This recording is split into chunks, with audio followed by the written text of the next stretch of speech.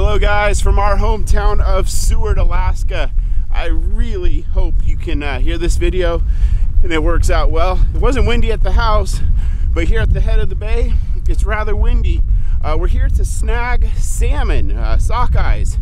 Uh, a lot of people call it like the Resurrection River sockeye run.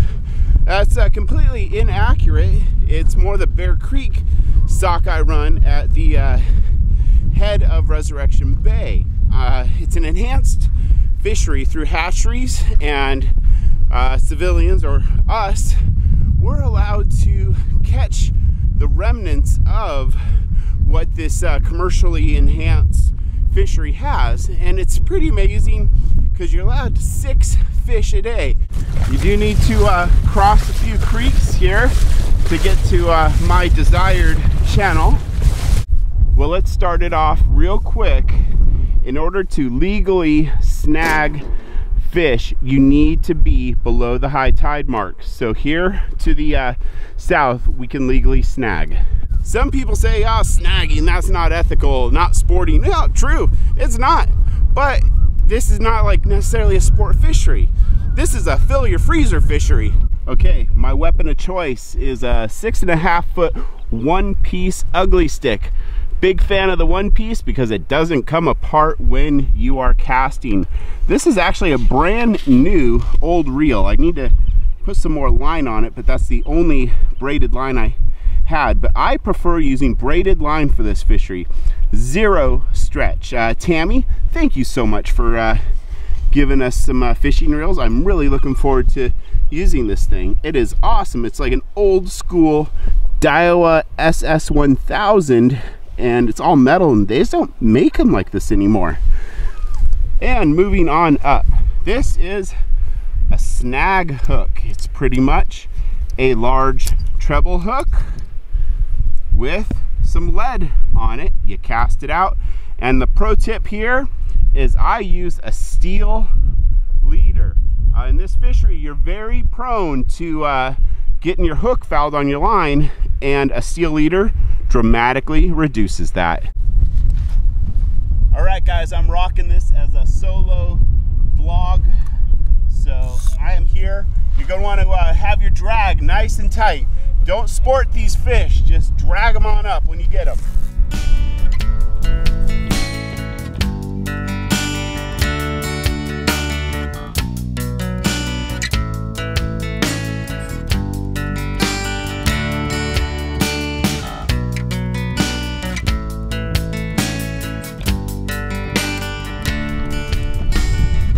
This is the uh, middle creek that I just casted a line in.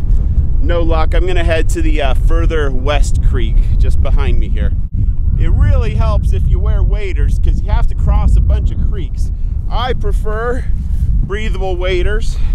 They're awesome. They keep you warm. Just, it's worth the investment. So guys, there's a couple techniques. You can cast it all the way across the water and just jerk it across if the fish are out of your reach, it's a great way. The other technique is flipping. Just get some line out and close your bail, of course. out and amazing technique if the fish are running right in one of these deep little channels. Okay, this is real life, but it pays to be mobile. Uh, there's a few uh, little creeks here and I see three fish coming in right now. Got right over there, that guy just got one, and that guy on the other side just got one.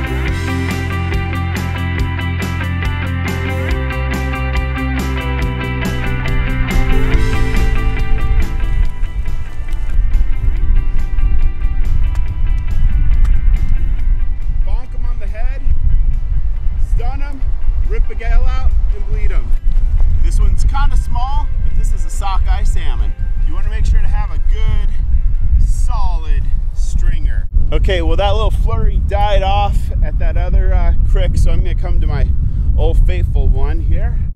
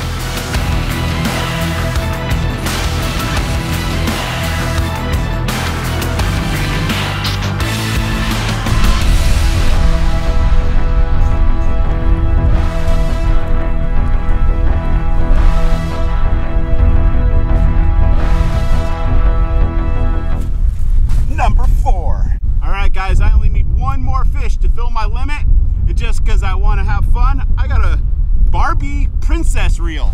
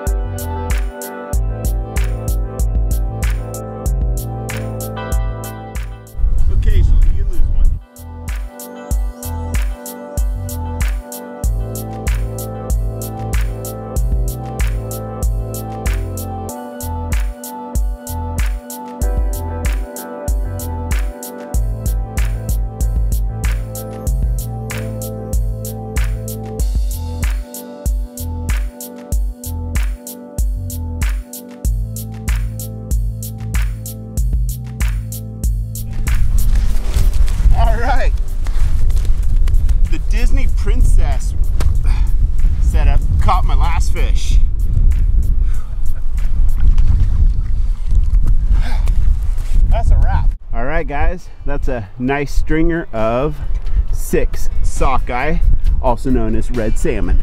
And what do we have over here? Did Dad limit out? Nice catch, Dad. Good Nice- job. Nice day fishing. All right, guys, that's about it for today's vlog on snagging salmon in our hometown of Seward, Alaska. It worked out well. We got our limit. Hit that subscribe button if you're into Alaska, travel, adventure. Our next big one, we're driving a four-wheel drive expedition vehicle around the world. We'll see you later.